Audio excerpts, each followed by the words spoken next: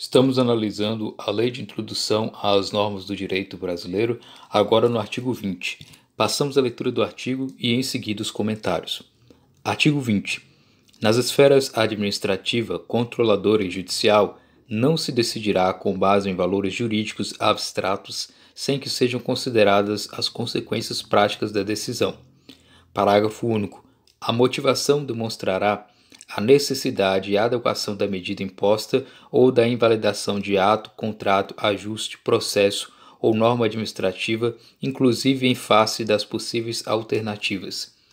Então, esse artigo 20 até o artigo 30 são inclusões, né? foram incluídos pela Lei 13.655 de 2018, que incluiu esses artigos aí na Lei de Introdução às Normas do Direito Brasileiro para prever regras né, sobre segurança jurídica, sobre eficiência na criação e na aplicação do direito público.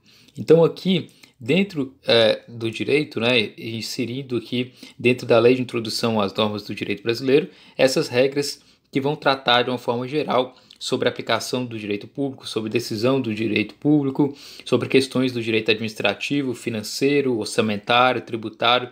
Então, essas regras elas vão estar aí dentro desse âmbito do direito público, não se aplicando aí no âmbito do direito privado, demonstrando aí que a lei de introdução às normas do direito brasileiro é uma lei é, muito ampla, né, que trata de vários assuntos, né, desde é, aspectos sobre as normas, né, sobre aplicação da norma, sobre interpretação é, da norma, integração, sobre direito internacional, direito privado e agora tratando sobre direito público. Né.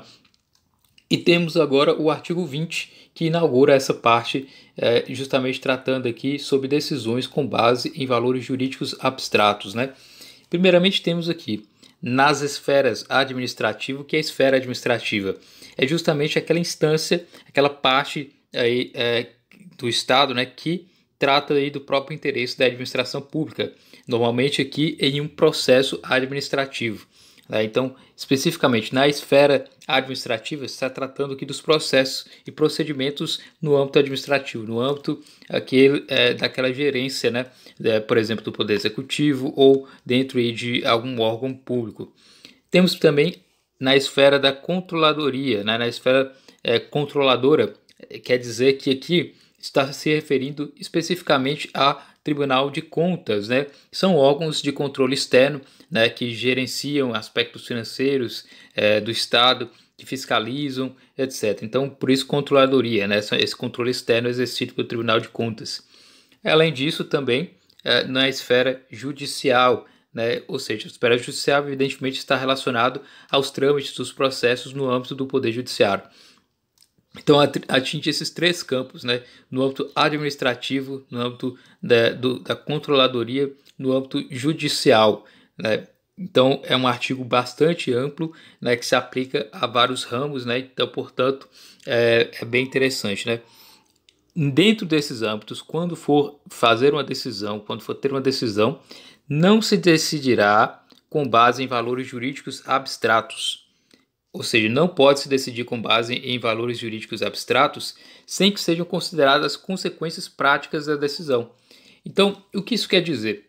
Que ao fazer uma decisão, é, o juiz ou aquele ministro é, do Tribunal de Contas, né, o juiz do Tribunal de Contas, é, ou ainda aquele membro da esfera administrativa que está tendo aquela decisão no processo administrativo, ele pode levar em consideração os valores jurídicos abstratos? Sim Porém, ele deve sempre lembrar das consequências práticas daquela decisão. Ou seja, ele tem que observar é, a, as razões é, para aquela decisão e os efeitos que ela terá, é, efeito econômico, efeito social, etc. Né? Então, são exemplos, por, exe por exemplo, aqui de valores jurídicos abstratos. Né? São vários, né? por exemplo, dignidade da pessoa humana que está na Constituição, no artigo 1 inciso 3, é um valor jurídico abstrato, é um valor jurídico que o conceito ele não é bem definido, que normalmente aqui quem vai decidir poderá se valer é, desse valor jurídico abstrato, porém não há uma definição concreta quanto a determinar o que é dignidade da pessoa humana. Então por isso não será necessariamente algo objetivo, né? Outro exemplo também, valores sociais do trabalho da livre iniciativa no artigo 1 inciso 4. é valor jurídico abstrato. Né? O que é valor social do trabalho? O que é livre iniciativa? É algo muito abstrato. Outros exemplos, princípio da moralidade. Né? É um termo bastante amplo que demandaria é, uma série de questionamentos sobre esse conceito. Né? É, Bem-estar e a justiça social, por exemplo, no artigo 193. Então, são termos amplos demais para serem definidos. Né? Então, são normalmente classificados aí como princípios. Né? Porque os princípios eles são normas, eles possuem aí, é, um grau de abstração maior do que as regras propriamente, né? Mas esses, esses princípios atualmente eles têm força normativa, eles podem ser aplicados pelo Poder Judiciário, por exemplo, né? É, especialmente no âmbito do que é chamado hoje como ativismo judicial. Então esse artigo 20 ele tem essa ideia né, de restringir esse, o ativismo judicial para visar aí proteger os interesses é, do poder público, especialmente aí nas questões econômicas, né?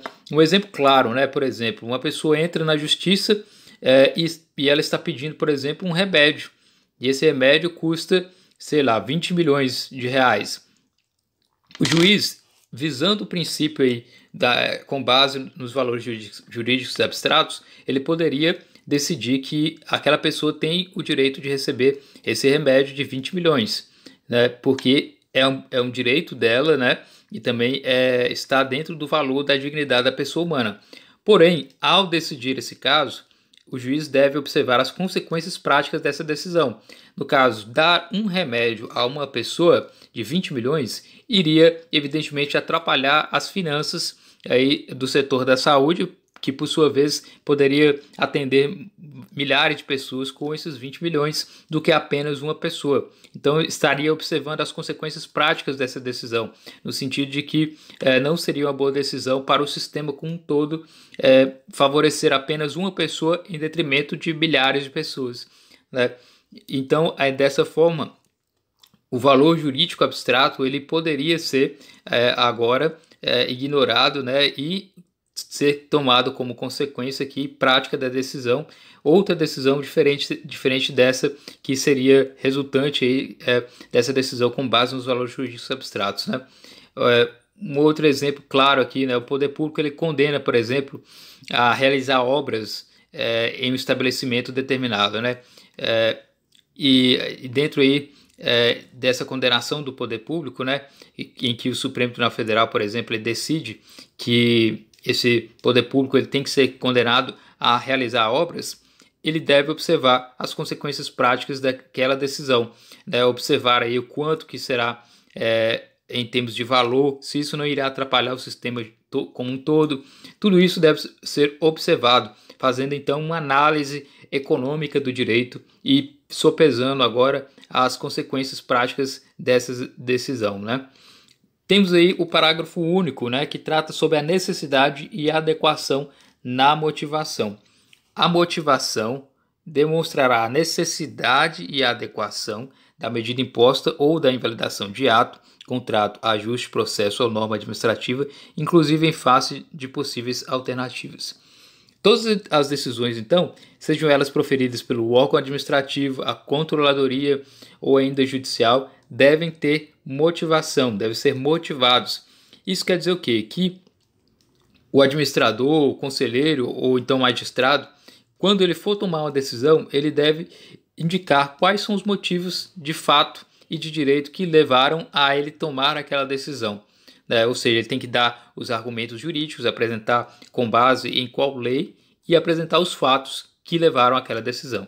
Então, esse administrador, esse conselheiro né, do Tribunal de Contas, o magistrado, né, quando for impor é, alguma dessas medidas é, em relação, por exemplo, a, a invalidar o ato, a contrato, a ajuste, processo ou norma administrativa, ele deve demonstrar que essa decisão é necessária e mais adequada.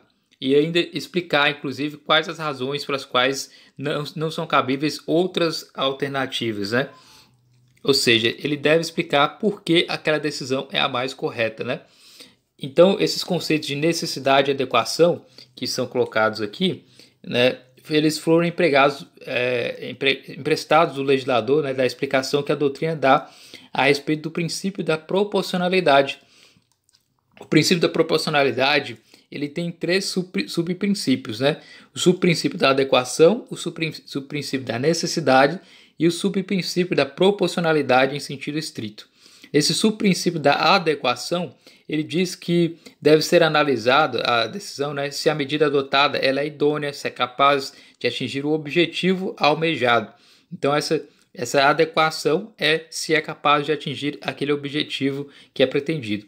E ainda o subprincípio da necessidade trata de dizer que é, a análise, né, analisa né, se a medida empregada é ou não excessiva. Então deve existir essa adequação, ou seja, é, se é possível de ser atingido o objetivo e essa necessidade, se é possível é, de ser algo, algo adequado e não excessivo, né? E ainda existe o chamado subprincípio da proporcionalidade em sentido estrito, que representa a análise do custo-benefício da providência é, pretendida para se determinar se o que se ganha é mais valioso do que aquilo que se pede, ou seja, observar se há aí uma proporcionalidade, se aquilo resulta em algo mais valioso, mais interessante aí naque, naquela decisão. Então, sempre quando existir uma, uma decisão né, em que irá ocorrer a invalidação de um ato, um contrato, um ajuste, um processo ou norma administrativa, deve-se observar esses princípios da proporcionalidade, especificamente aí nesses subprincípios da adequação, da necessidade e ainda essa é, análise aí em face das possíveis alternativas, se essas alternativas possíveis eram viáveis ou não e por que foi optou especificamente por uma é, das opções é, dentre várias. Né? Então esse é o artigo 20 tratando aí é, sobre essa questão é, é, das decisões, né, as consequências práticas de uma decisão diante de uma tomada de decisão com base em valores jurídicos abstratos, visando que coibir é, decisões que fogem muito à realidade e que possam atrapalhar todo o sistema é, jurídico. Né? Então, esse é o artigo 20 é, da Lei de Introdução às Normas do Direito Brasileiro.